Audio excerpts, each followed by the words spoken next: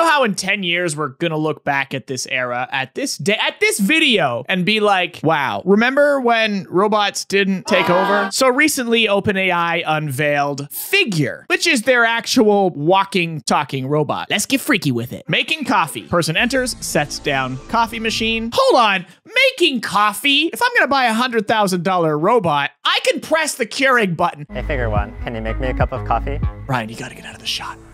Trying to make yourself a coffee on January 1st. Uh, oh, yeah. Yeah, there it is. Yeah, press the button.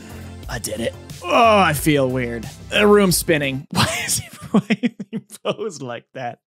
He steals the coffee. Brian steals the coffee from the robot.